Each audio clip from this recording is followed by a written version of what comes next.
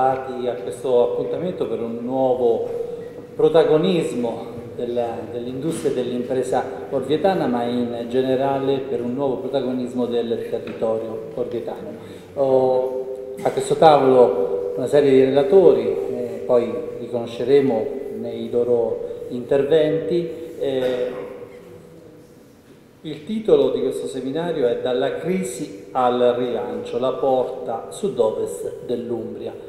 Eh, un titolo che ovviamente eh, racchiude in sé molte cose, ma racchiude soprattutto la volontà, almeno oh, parlando nei giorni scorsi appunto con i relatori, la volontà di eh, esercitare un, una nuova, o dar vita a una nuova stagione eh, a questa, questa, parte di regione, a questa parte d'Italia che poi ovviamente se andiamo a raccontare la regione o il territorio orvetano nella, nel suo essere appunto tale, forse eh, stringiamo troppo i confini, soprattutto in questo mondo dove la globalizzazione, dove insomma, i confini geografici non esistono più, eh, è chiaro che occorre eh, immaginare eh, questo territorio su un palcoscenico che è quello oh, nazionale e internazionale.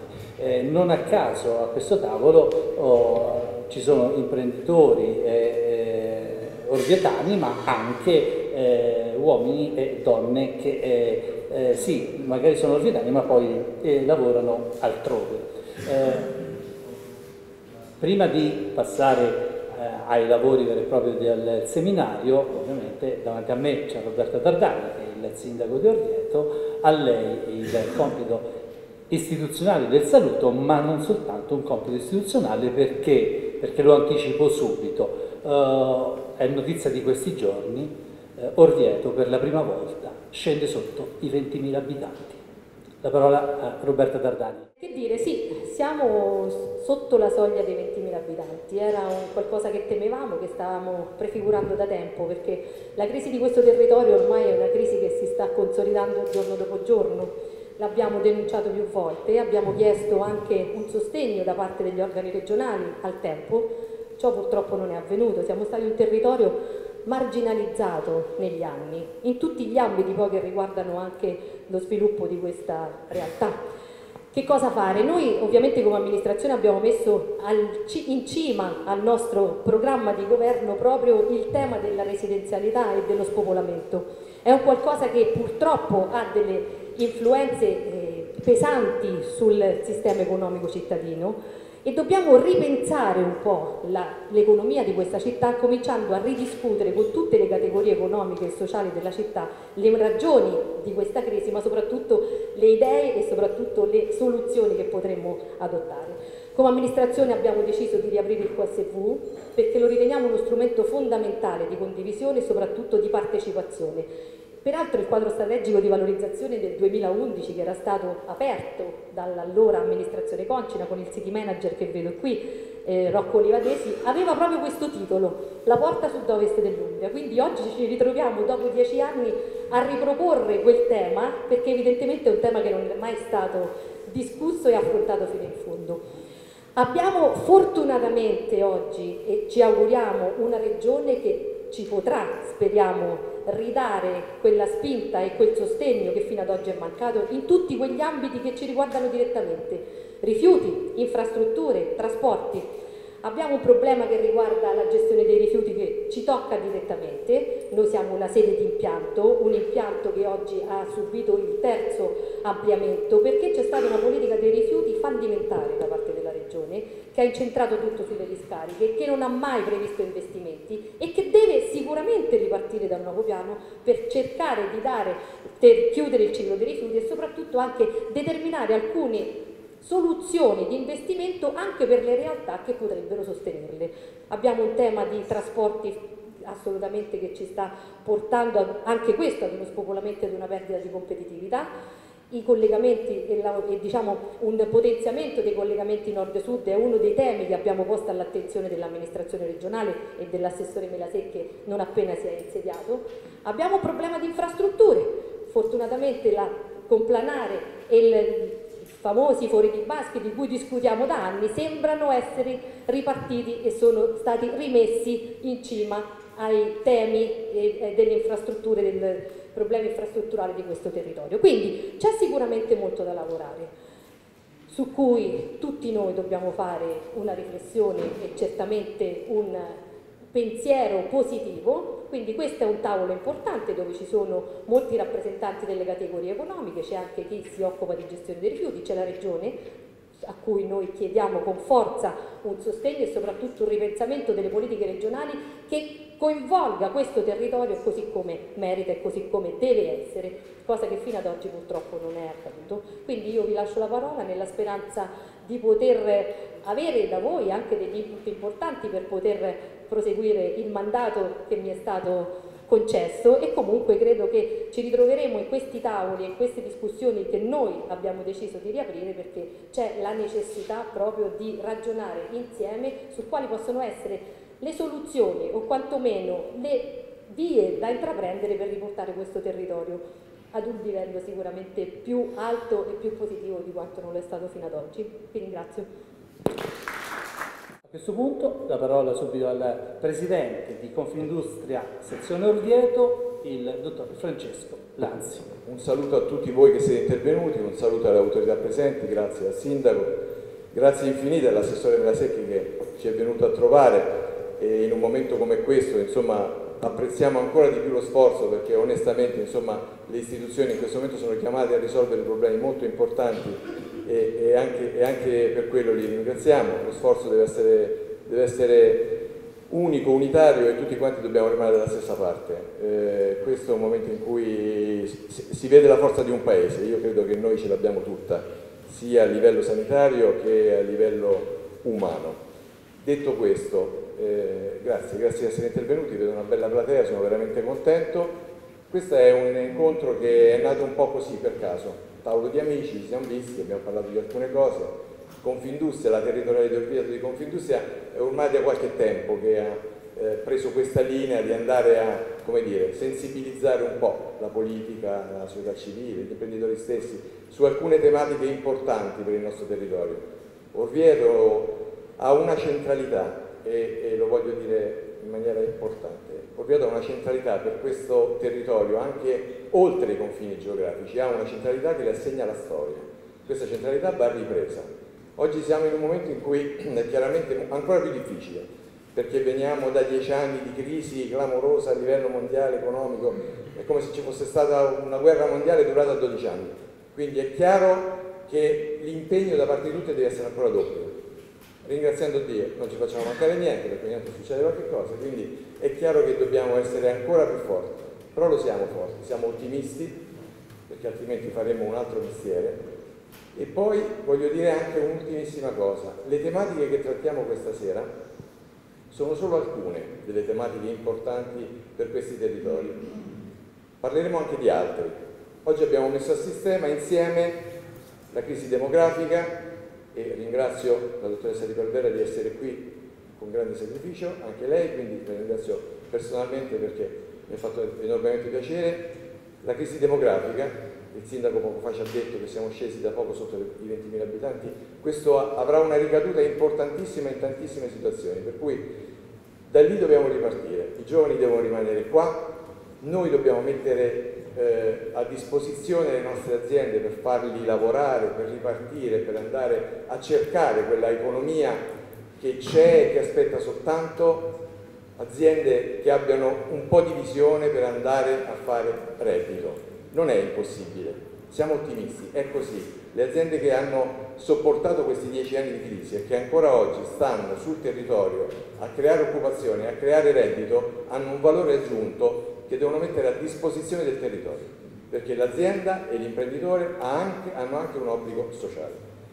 Parleremo chiaramente di infrastrutture, quindi la firma dell'accordo sulla, sul, sulla compranale sui fuori di Baschi è per noi determinante. Siamo una, una, un territorio che ha la zona industriale a nord e il casello autostrada a sud, per cui è chiaro che questo porta a delle dinamiche che creano degli scompensi per gli abitanti dei centri abitati, per, per, per le aziende che devono, che, devono, che devono, sopportare il traffico delle ore di punta e quindi devono aspettare che arrivi e rientrino i camion.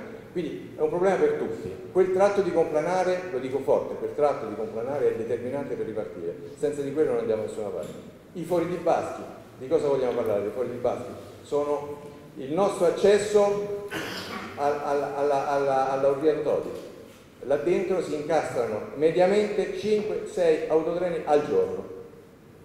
Chiunque voglia venire qui a fare un investimento e dovesse scendere da Perugia evidentemente si troverebbe lì con un coglio di bottiglia che dice ma io qua? Mi sa che mica ci vengo. Però noi abbiamo cosa che in Umbria non ha nessun altro quasi nessun altro se non studiamo da parte noi abbiamo una porta autostradale. E abbiamo la, eh, la, la, il tratto de, della ferrovia dell'alta velocità cosa serve? Eh, assessore servono i soldi, io ho detto prima ne parlavamo qui servono i soldi. Soldi non dalla regione, dallo Stato, dalla comunità europea. Andiamo a cercare di, di, di, farci dare tre punti di deficit in più. E facciamocelo dare questi tre punti di deficit in più. Bisogna che noi troviamo una scossa economica a questa nazione, a questa regione, a questo territorio per tutti, è fondamentale, se no non andiamo da nessuna parte. Il tema dei rifiuti è un tema che ve lo dico fare, su Orvieto. Determinante, ma va visto in un'altra ottica, il tema dei rifiuti, no, l'economia circolare, il ciclo chiuso dei rifiuti, le energie rinnovabili, ma qui c'è l'economia c'è un pezzo del valore aggiunto dei nostri territori, la potenzialità di fare del reddito da quello che, che oggi è un problema. Ma ne vogliamo parlare? Sì, ne vogliamo parlare, siamo qui apposta. Grazie a tutti, lascio la parola a, a loro. Grazie. Il compito della ricerca è quello di analizzare, dare ehm, impressioni e dare, ehm, focalizzare quelli, quelli che sono i problemi. Poi il compito di qualcun altro è quello di individuare gli interventi da mettere in pratica e generalmente prima di andare in qualsiasi conferenza mando delle slide per evitare poi a chi, a chi, a chi organizza le conferenze, eh, per evitare che poi quando arrivo mi si dica che i risultati che, che, mm, eh, che comunico siano estremamente negativi. Oggi appena arrivata chi ha letto le slide mi ha detto ma porti queste cattive notizie, purtroppo sì, purtroppo sì. Allora, Partiamo, oggi parlerò di demografia, come abbiamo detto, e anche parte di quelli che sono i redditi del territorio dell'Orvietano. Allora, eh, questa mappa è la mappa che abbiamo presentato in um, alla, la, la, presentazione del rapporto economico e sociale che l'Agenzia Umbria Ricerche fa ogni anno per la giunta regionale.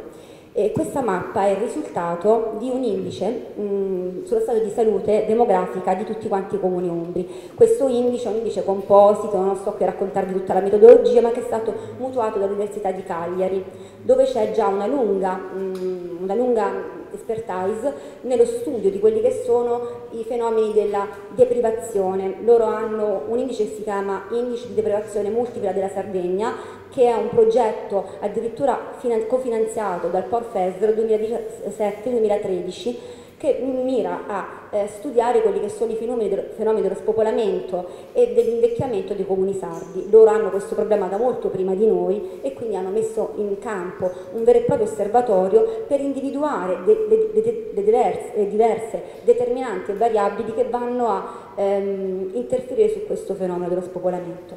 Ho mutuato questo indice sullo popolamento, non tutto l'indice di privazione perché quello è molto complicato e ci vuole, ci vuole del tempo, e l'ho replicato per l'Umbria.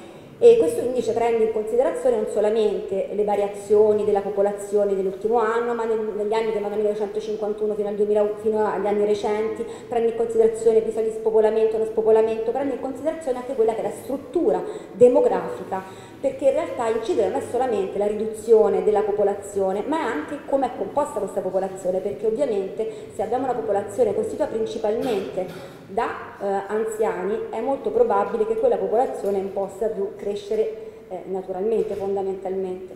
E con tutti poi i vari problemi di una popolazione che tende ad invecchiarsi.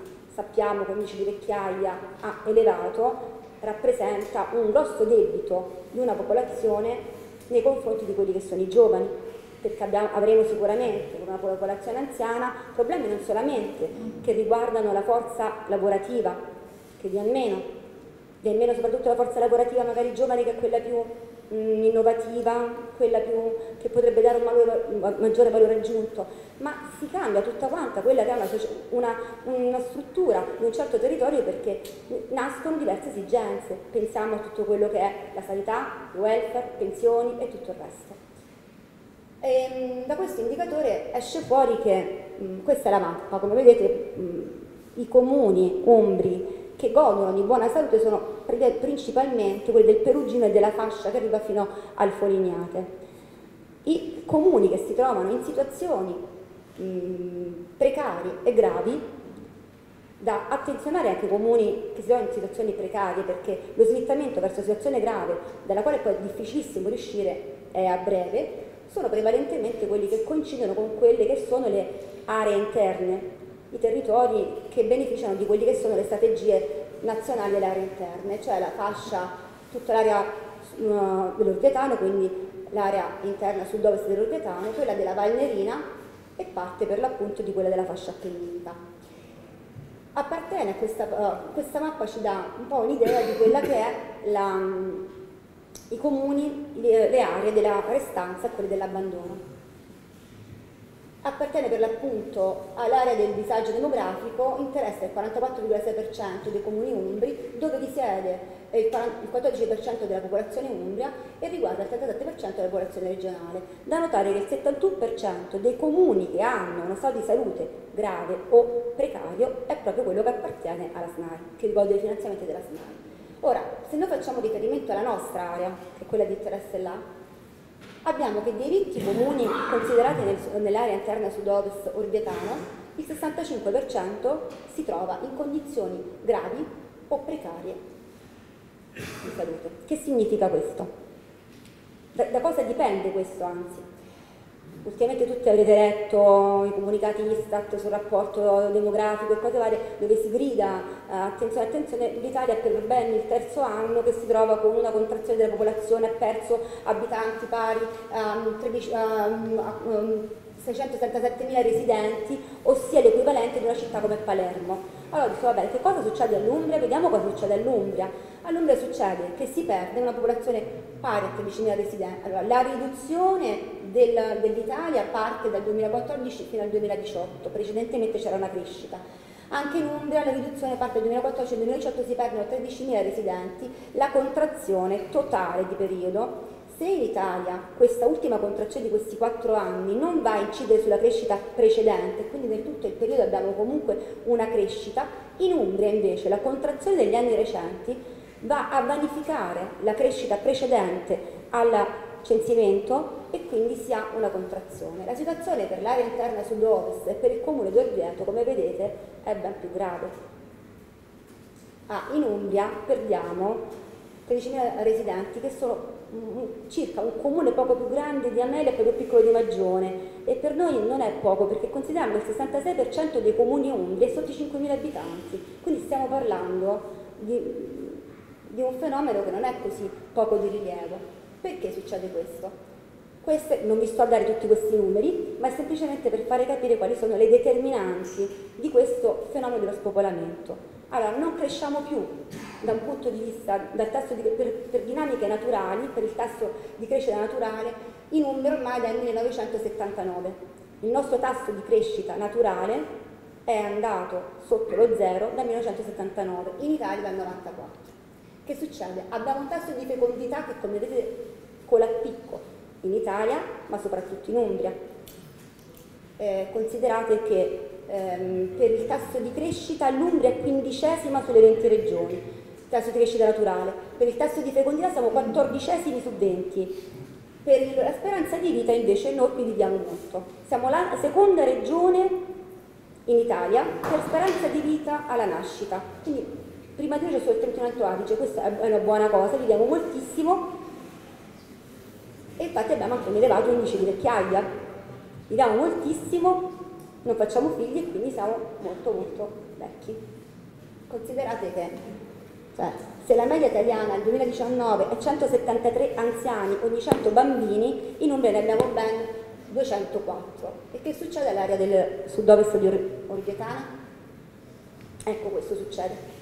Il tasso di vecchiaia del, de, questi sono tutti quanti i comuni che appartengono all'area interna sud-ovest dell'Ordietano e la media è 256. Allora, l'Umbria è tra le regioni più vecchie d'Italia, l'area interna sud-ovest dell'Ordietano è ancora più vecchia dell'Umbria.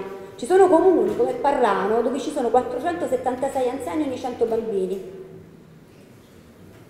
Fa bene Attigliano invece, che è l'unico comune ad avere uno stato di salute buona, riprendendo la mappa iniziale, è infatti l'unico comune che ha un tasso, un indice di vecchiaia inferiore non solo alla media del, della nostra area, ma anche a quella umbra.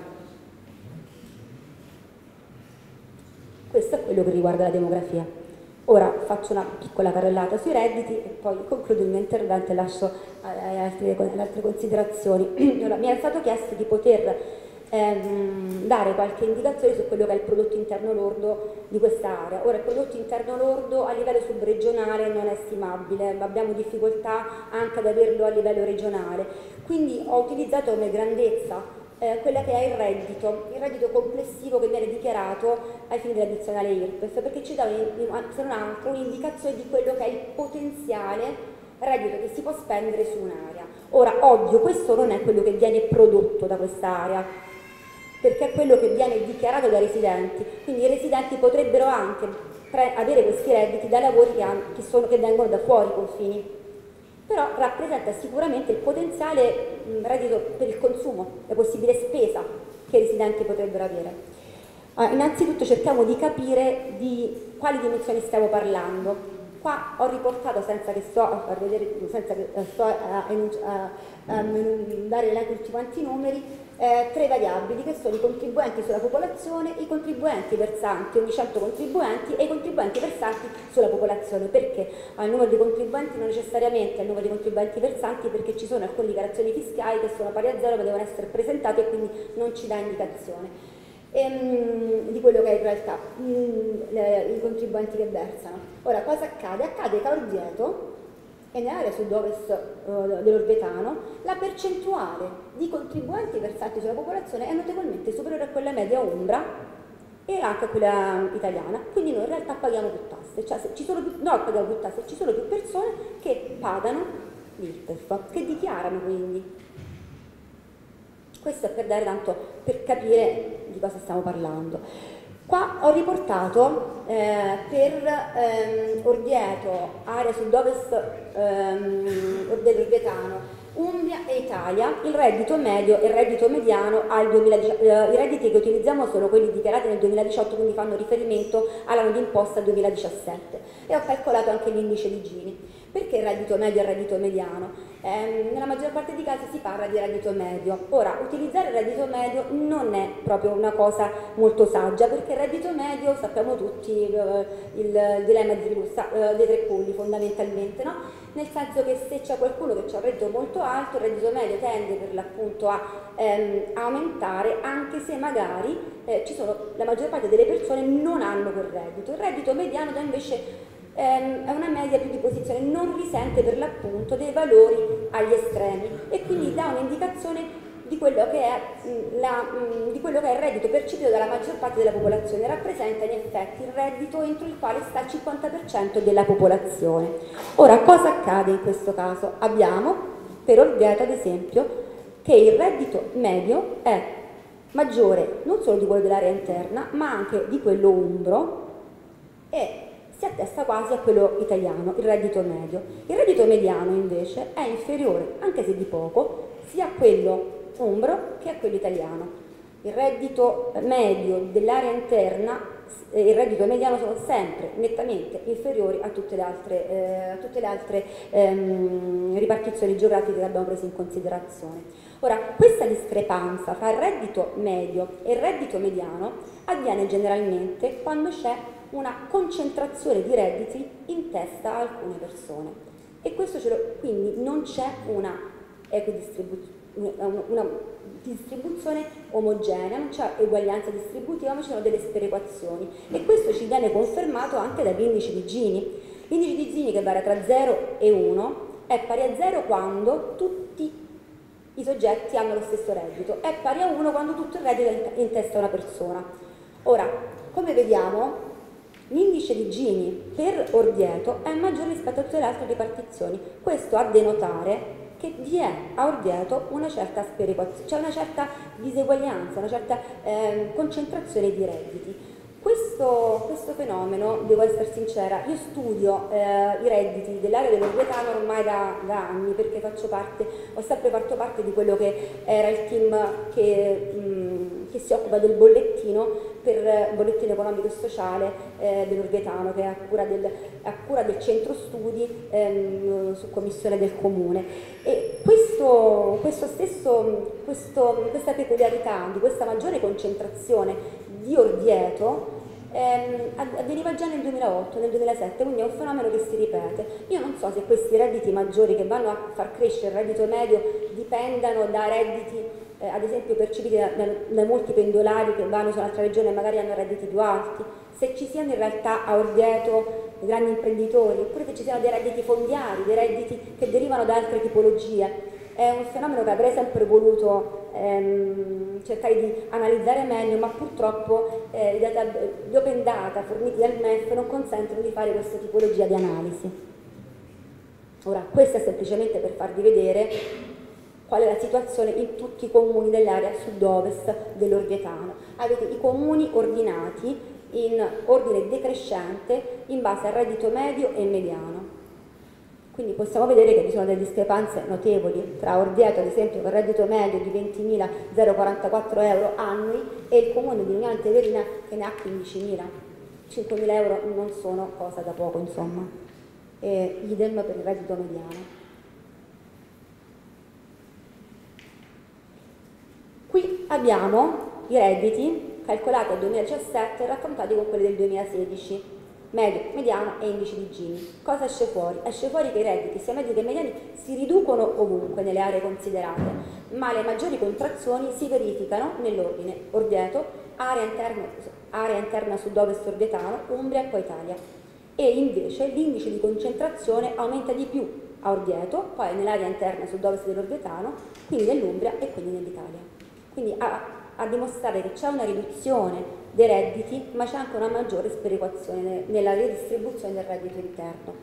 Chiudo con quello che vorrebbe essere, che potrebbe essere un'ulteriore pista di ricerca che potrebbe aiutare per poter individuare i modelli per poter cercare di capire, perché, per poter cercare di capire come ripopolare, perché è ovvio che in un, in un paese dove non, dove non si percepiscono i redditi il lavoro è fondamentale, dove non ci sono i redditi, dove non si riesce a vivere eh, in maniera adeguata, con un certo livello di, eh, di benessere, è, è, difficile starci, insomma chiunque va a vivere dove riesce a guadagnare, dove riesce ad avere i servizi eh, opportuni per, vi per, vivere, dove riesce ad avere insomma, quello che eh, vuole, che, che fa, fa, star meglio. Allora quello che si potrebbe fare, che ad esempio ehm, il progetto ehm, Indice di privazione multipla della Sardegna fa, è quello di intersecare ehm, le variabili demografiche con altre variabili che sono per l'appunto variabili di tipologizzazione di servizi, rete commerciali, che sono ad esempio le strutture, dei, ehm, le strutture produttiva dei comuni, cioè intersecare queste cose per mettere assieme diverse informazioni. Ad esempio un primo esercizio che ho fatto era quello di eh, valutare la correlazione esistente tra eh, lo stato di salute di tutti, i comuni, quelli, eh, tutti i comuni ombri e il reddito imponibile ai fini IRPEF. Eh, lo stato di salute sembra essere positivamente correlato con il reddito, laddove i redditi sono più alti c'è uno stato di salute demografica maggiore, cioè c'è meno spopolamento. Idem per quello che riguarda ad esempio le imprese e gli addetti alle imprese i comuni che hanno un buono stato di salute hanno maggiori quantità di imprese e maggiori addetti alle imprese. C'è questa correlazione, quindi bisognerebbe capire, effettuando, analizzando tutte queste variabili, le diversità di ogni territorio, che è quello che io ritengo sicuramente necessario affinché si possa ridare mh, vita economica e anche eh, crescita non solo demografica ma anche economica, è quello di individuare le particolarità e fare interventi che non siano tutti quanti uguali, ma che siano mirati in base a quelle che sono le caratteristiche di ogni zona. È necessario perché non si può dare la, medicina, la stessa medicina a ogni paziente, ogni paziente ha un quadro e quindi quel quadro deve emergere per poter intervenire nel modo migliore.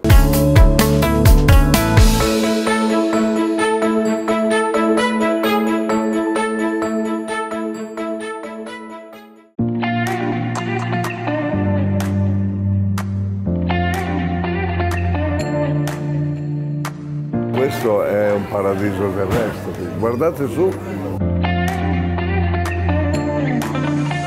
Sì, questa è una pioggia di meteoriti di prosciutto buono.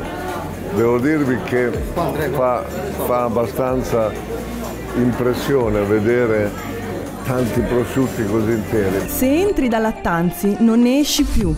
Tra profumi e sapori, tra salsicce e porchette, tra coppiette e salami, ci ritornerai con la persona che ami.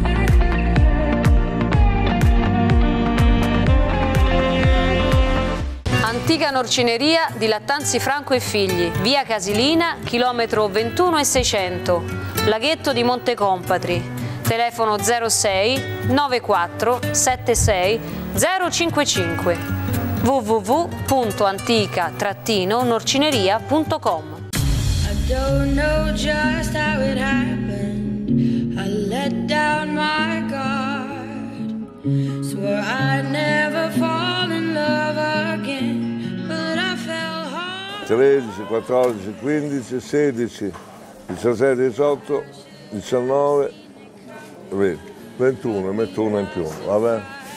Che se... No. Guarda un po' quant'è questa? 3 kg e 100 t'ho fatto.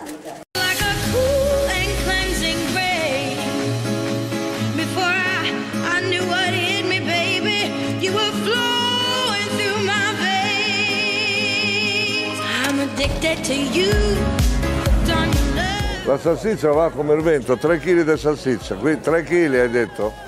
Eh? 30 salsicce.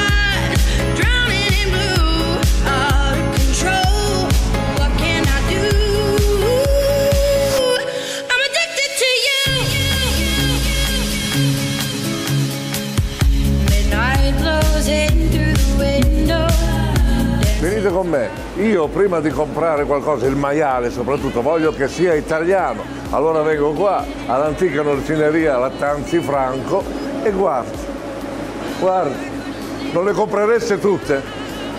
Mamma mia, è che mi fa un po' male al fegato dopo un po', però tutta sta fila si può fare, come si dice a Roma, si può fare.